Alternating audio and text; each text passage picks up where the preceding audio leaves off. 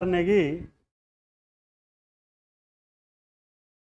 का कोट मुझे दिखाई पड़ रहा है। डेल कार्नेगी का नाम perhaps you have already heard about Dale Carnegie. बहुत बड़े फिलोसफर थे। कितना खूबसूरत लिखा है उन्होंने। कि try to get what you like try to get what you like otherwise, you will be forced to like what you get. जो तुम्हें पसंद है, उसको पाने का प्रयास करो। अन्यथा, जो चीज़ तुमको मिलेगी, उसको पसंद करने के लिए बाध्य किए जाओ। क्या गजब का स्टेटमेंट अगर ऐश्वर्या राय से शादी करनी है तो बहुत मेहनत करना पड़ेगा। नहीं तो जो फूलन देवी मिलेंगी उन्हीं से, उन्हीं को अपने पसंद में शामिल करना होगा और इसके लिए तुम फोर्स बाध्य किए जाओ। कितना खूबसूरत है। His book named how to win, how to win the hearts of others, दूसरे का दिल कैसे जीते how to make friend how to behave, how to say, how to say to others that you are on the wrong path. कैसे कहें कैसे करें। तो संस्कृत में देर इज़ अ श्लोक सत्यम बुरियात प्रियम बुरियात अप्रिय सत्यम न बुरियात। क्या मतलब है? मतलब is simple speak always truth सत्य बोलो। Speak always always speak sweet मीठा बोलो, प्रिय बोलो। सत्य बोलो, प्रिय बोलो। और लास्ट अप्रिय सत्यम न बुरिया।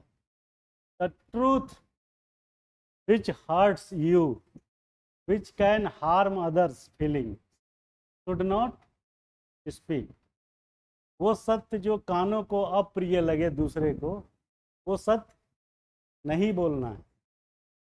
सत्य बोले, प्रिय बोले, लेकिन अप्रिय सत्य unpleasant truth should not be told to your counter part your friend your family what अगर आपने इसको जीवन का मूल मंत्र नहीं बनाया तो आप पूरा जीवन जो है दुखी बने रहेंगे। समझ रहे हैं? सत्यम बुरियात, प्रियम बुरियात, अप्रिय सत्यम न बुरियात। कभी किसी से ये मत कहिए कि तेरी मूछे जो है बड़ी बेकार लग रही you should not say like this that your message is not not reflecting any positive and beautiful sign बुरा लगेगा ना। ये वैसा ही है जैसे कि try to say blind person that you are blind है कि नहीं? तो आई मीन टू से कि अप्रिय सत्य बोलने से आपको क्या फ़ायदा हुआ? कुछ नहीं। उल्टा क्या हो गया? नुकसान। अगर इन्होंने पाँच रुपए का समोसा खा लिया और अगले दिन नहीं खिलाया you don't try to make conflict, don't try to make demean to others. क्योंकि समोसा तो ऐसे ही नहीं खिलाया और कुछ कहेंगे तो संबंध और खराब ही होगा ना तो which is better better is that don't don't make argument don't put any negative remarks don't abuse don't quarrel झगड़ा नहीं करने इज़ इट ओके तो सत्यम बुरियात प्रियम बुरियात अप्रिय सत्यम welcome welcome no no no you are on time तो we were talking about Dale Carnegie the statement is try to get what you like otherwise you will be force to like what you get simple है। तो जो पसंद है उसको पाने का प्रयास करिए, मेहनत करिए, क्योंकि ये समय बीत जाएगा तो दोबारा नहीं आएगा तो जो मिलेगा उसी से गुजारा करना पड़ेगा पूरा जीवन। है कि नहीं? तो this is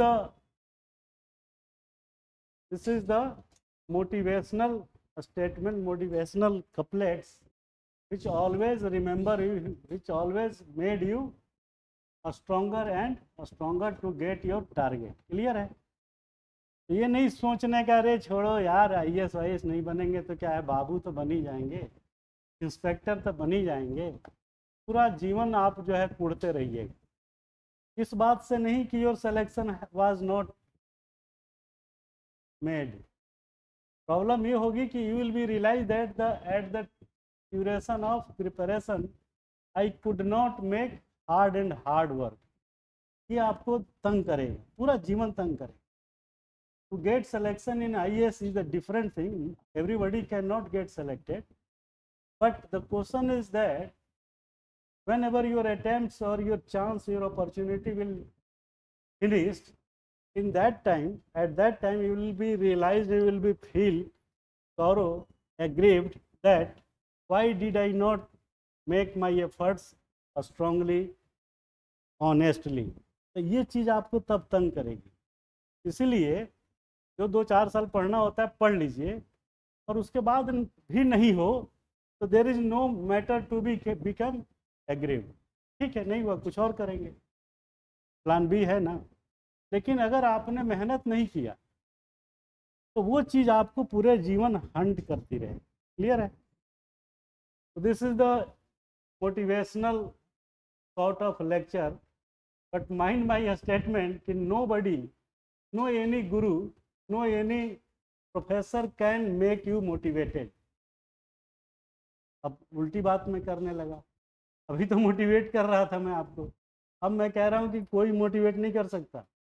What is chance how will you get motivated by by your your process himself और हर herself. आपका मोटिवेटर आप खुद हैं। समझ रहे हैं ना? आप जो बातें हमने कह दी, उसी को आप सोचिए। यार, बात तो सही है। किसी के कहने से you are not going to get motivated but unless until you are not desire to become motivated तो सबसे बड़ा मोटिवेटर कौन है आपका? आप खुद हैं। जब आप अपने से प्यार करिएगा, जब अपने आप से मेहनत करिएगा, ईमानदारी से तो मोटिवेशन अपने आप आने लगे। ठीक है? बागेश्वर बाबा के मोटिवेशन या आसाराम बापू के मोटिवेशन सुनने से कुछ मोटिवेट नहीं होता। और दुनिया में कोई गुरु नहीं है। आपका गुरु कौन है? आपका ज्ञान, आपकी पढ़ाई, आपकी लॉजिक जो हमने कल बोला था, क्या एक शेर बोला था ना, कि तुम वो जुगनू, हो जो सेल्फ इनलाइटेड हो। है कि नहीं? हाँ बोलो बोलो। हाँ। हाँ रोशनी है है कि नहीं? कितना बढ़िया बिना मेहनत के तक तो ताज नहीं मिलते हैं। तो सही बात। जब टूटने लगे हौसले तो बस ये याद रखना, बिना मेहनत के तक तो वो ताज नहीं मिलते और ढूंढ लेते हैं अंधेरों में भी मंजिल अपनी, क्योंकि जुगनू किसी रोशनी के मोहताज नहीं। आप सेल्फ इनलाइटेड जुगनू बनिए सेल्फ इनलाइटेड हम लोग तो सिर्फ़ छोटा सा टॉर्च दिखा रहे हैं, इससे ज़्यादा की ज़रूरत भी नहीं है। खैर So we directly come to the question that was related with Benami. Yes. What is Benami? I have already told what is Benami. The property which is purchased or transacted between two people in the false title, in the false name, in the wrongful action, by quoting the fictitious name, to quoting the wrong peoples for getting that title. Sir, हमने दस लाख रुपए की ज़मीन खरीदनी है और मैंने आप में से किसी को कहा यार तुम्हारे नाम से ख़रीद देता हूँ क्योंकि मेरे पास कैश में है पैसा ब्लैक मनी है, और आप एग्री हो गए तो आपके नाम से खरीदा हमने। यूज़ मैं करूँगा, नाम आपका रहेगा। तो that property is known as benami for me क्योंकि लीगल राइट आपका हुआ तो सरकार इस बेनामी ट्रांजेक्शन को लेकर एक्ट को बड़ा स्ट्रॉन्ग किया। बेनामी क्या है? Any property any assets which is purchase by the fictitious or the other person name who is not real owner of that property clear है? जैसे हमने एग्ज़ाम्पल दिया। अब क्या कह रहा है ये? ये टॉपिक बड़ा इम्पोर्टेंट है और कहीं सिलेबस में नहीं है। आप ध्यान देना मेरी बात पे not directly include in the syllabus but कहीं ना कहीं ये टर्म कहीं है, उससे हमने डिराइव किया। The benami transaction act of India is a law that was enacted to prohibit benami transaction in the country benami transaction is one in which a property transfer to one person but the consideration for the transfer is paid by another person clear है? हमने दिया। This is often done to avoid paying taxes or to conceal the ownership of the property रिश्वत का पैसा या काला धन से जब संपत्ति लोग खरीदते हैं तो ऐसे ही करते हैं। क्लियर है? अब कह रहा है कि बेनामी ट्रांजेक्शन एक्ट जो इंडिया में आया है, उससे क्या जो है फ़ायदे हैं। तो पहला फ़ायदा होगा प्रिवेंशन ऑफ़ टैक्स इवेजन अगर सरकार उस संपत्ति को पकड़ती है तो मैंने आपको बताया था। क्या बताया था? सिंपल बताया था कि किसी ने ए ने ए के पास पचास लाख रुपया है and he is purchasing that land land है in the name of some other person who is the not real owner but in legal term, he is the owner because the transaction is taken place in the name of y. Clear है? पैसा किसका है? ए का। Y का नाम से registry हो गई। तो such transaction is known as benami संपत्ति। क्लियर है? क्योंकि इसका नाम तो आया नहीं ना। इसने इसके नाम से खरीद दिया।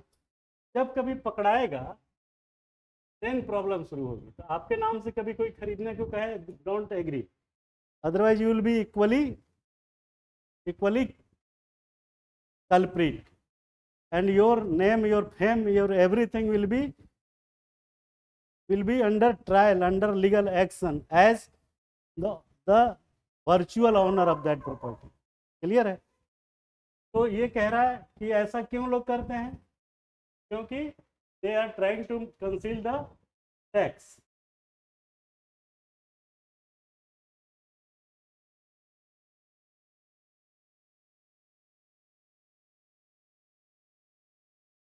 benami संपत्ति लोग क्यों खरीदते हैं?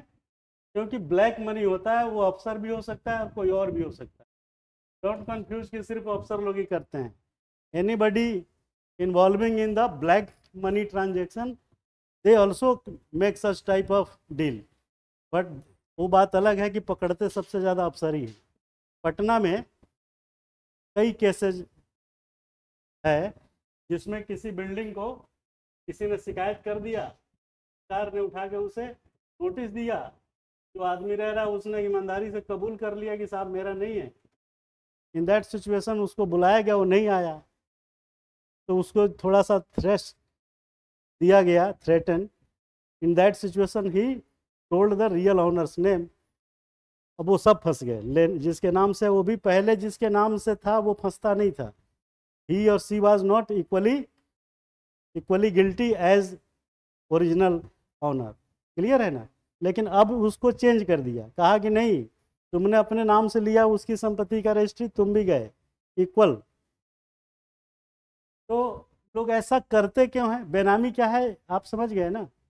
कैसे होता है ये समझ गए? अब ये, इसका बेनिफिट क्या है? किसके लिए? इंडिविजुअल के लिए, सरकार के लिए तो नुकसान है। आदमी जो है prevention of tax evasion The act helps to prevent tax evasion by ensuring that properties are registered in the name of the real owner and that the transactions are transparent. तो बेनामी एक्ट लाने के पीछे सरकार का क्या motive है तो सबसे पहला मोटिव है सरकार का टैक्स की चोरी को रोकना और आपका क्या मोटिव है टैक्स चोरी को बढ़ाना सरकार का काम है टैक्स चोरी रोकना और आपका क्या काम है? तीन सौ करोड़ लेके वो जो महिला आई जोशी मध्य प्रदेश में फंस, है? पूजा सिंघल। तो आपका क्या मोटिव है? टैक्स की चोरी करना। सरकार का काम क्या है?